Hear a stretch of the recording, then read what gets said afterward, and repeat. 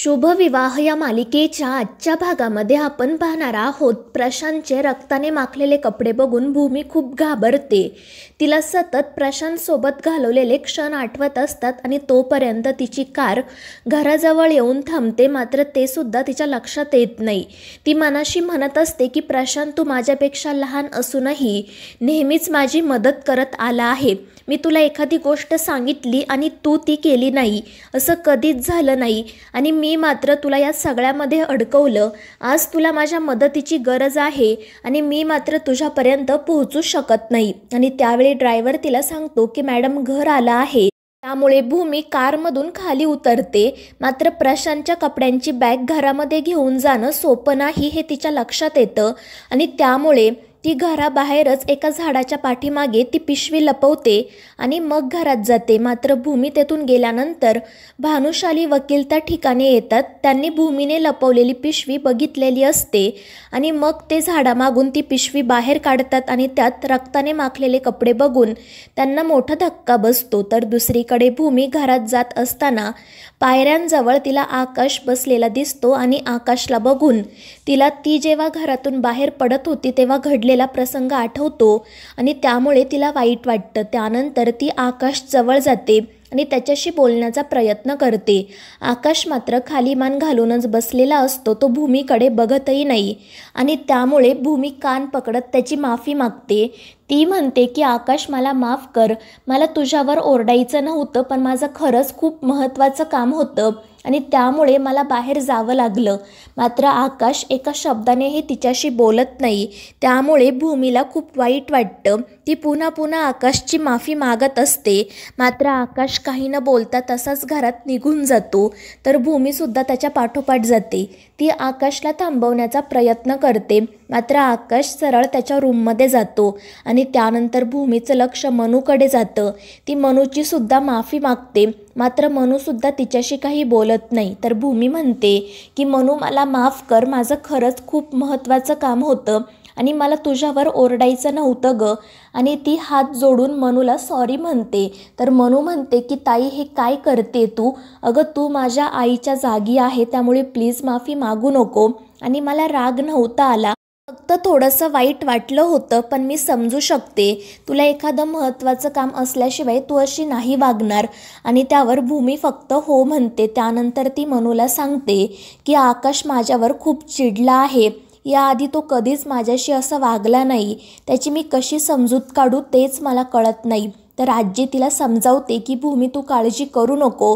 अगं आकाश तुझ्यावर असा किती वेळ रागवणार आहे तो लगेच तुझ्याशी बोलेल. आणि मग त्यानंतर ती भूमीला आकाशकडे जाण्यासाठी सांगते. मात्र रागिनी हा सगळा प्रकार बघून हसत असते. ती मनाशी म्हणत असते की भूमी आता मलासुद्धा बघायचंच आहे. तू आकाशची समजूत कशी काढतेस ते? कारण तिने आकाशच्या मनात भूमीविषयी खूप गैरसमज निर्माण केलेले असतात.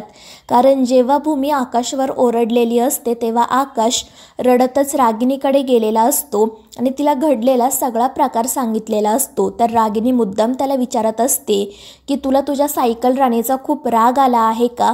मात्र आकाश म्हणतो नाही आत्तू मला तिची काळजी वाटत आहे.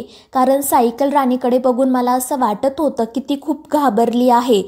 हे तो म्हणतो की एकदा माझा टुटू हरवला होता आणि त्यावेळी माझी जी अवस्था झाली होती ना तीच अवस्था आज सायकल राणीची झाली होती.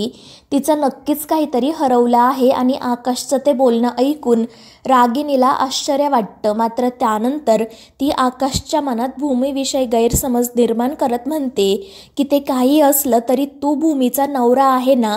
मग तिने बाहेर जाताना तुला सांगायलाच हवं. तुला न सांगता तुला एकट्याला सोडून ती अशी बाहेर कशी जाऊ शकते? तिचं वागणं खरंच खूप बदललं आहे. आणि रागिनीचं हे असं बोलणं ऐकून आकाश अजूनच चिडतो. तर रागिनी हसतच मनाशी म्हणत असते की चला आता एक काम तर झालं आहे. दुसरं कामसुद्धा करायला घेऊ आणि मग ती लगेच पौर्णिमाला कॉल करते. तर दुसरीकडे भूमी आकाशच्या पाठोपाठ त्यांच्या रूममध्ये जाते. ती आकाशसोबत बोलण्याचा प्रयत्न करत असते. आकाश मात्र झोपलेला असतो. भूमी त्याला उठवते आणि त्याला म्हणते की आकाश मला माफ कर. मी तुला सगळं काही सांगते. मात्र आकाश म्हणतो की सायकल राणी मला आता काही ऐकायचं नाही आहे कारण मी मगाशी तुला विचारत होतो ना काय झालं आहे? पण तेव्हा तर तू मला काहीच सांगितलं नाही. मग आता का सांगते आणि आकाशचं ते बोलणं ऐकून भूमीला रागिणीची धमकी आठवते. ती म्हणते की आकाश मला तुला सगळं काही सांगायचं आहे रे पण ते तुला नाही कळणार. तर आकाश म्हणतो पण सायकल राणी मी आता मोठा झालोय ऑफिसला सुद्धा जातो. मग मला कळेल ग. मात्र भूमी म्हणते नाही आकाश ही गोष्ट वेगळी आहे तुला नाही कळणार. आणि ते बोलणं ऐकून आकाश अजून चिडतो. तो म्हणतो की सायकल राणी मी तुझा नवरा आहे ना? आणि नवरा बायकोने एकमेकांना प्रत्येक गोष्ट सांगायची असती मी तर तुझ्यासोबत सगळं शेअर करतो मात्र तू करत नाही. तू खरंच खूप चिटिंग करते आणि त्यानंतर तो रागातच तेथून बाहेर जाण्यासाठी निघतो. तर भूमी टुटूला म्हणत असते की बघणारे टुटू आकाशला माझ्याशी बोलायला सांग. मात्र आकाश रागातच तिच्याकडून टुटू हिसकावून घेतो आणि सांगतो की टुटूसुद्धा तुझ्याशी बोलणार नाही. आणि मग ते दोघेजण बाहेर बाहेर जातात. तर या घडलेल्या प्रकारामुळे भूमी खूप खचून गेलेली असते. आकाशची समजूत कशी काढावी प्रशांतला कसं सोडवावं हे तिला काहीच कळत नाही आणि त्यानंतर तिला पुन्हा रागिणीची धमकी आठवते आणि ती भानुशाली वकिलांना कॉल करते. ती वकील साहेबांना सांगते की तुमच्याकडे रागिणीच्या विरोधात जे काही पुरावे आहेत जे व्हिडिओज आहेत ते सगळे डिलीट करा. आणि ते ऐकून भानुशाली वकील म्हणतात की तुम्ही जी पिशवी लपवली होती ती मला सापडली आहे. आणि ते ऐकून भूमीला धक्काच बसतो. तर भानुशाली वकील तिला विचारतात की भूमी मॅडम नक्की काय झालं आहे? मात्र त्यांचा तो प्रश्न ऐकून भूमी रडायला सुरुवात करते. त्यानंतर भूमी आकाशला शोधण्यासाठी हॉलमध्ये येते. त्या ठिकाणी फक्त मनू असते. भूमी मनूला आकाशबद्दल विचारते मात्र मनूला देखील तो कुठे आहे ते माहिती नसते.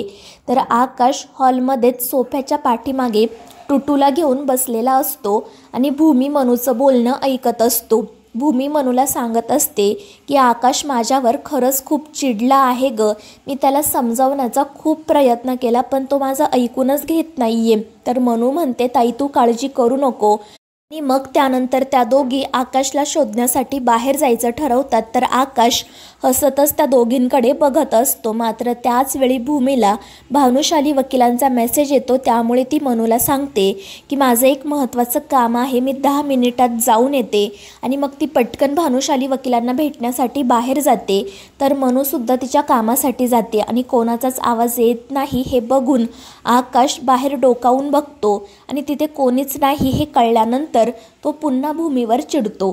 तर मित्रांनो या मालिकेच्या पुढील भागांमध्ये आपण पाहणार आहोत. रागिनी भूमीच्या माहेरी जाऊन नीलांबरीला धमकी देते की जर तुम्हाला तुमचा मुलगा जिवंत हवा असेल तर मी जे सांगते तसं भूमीला करायला सांगा.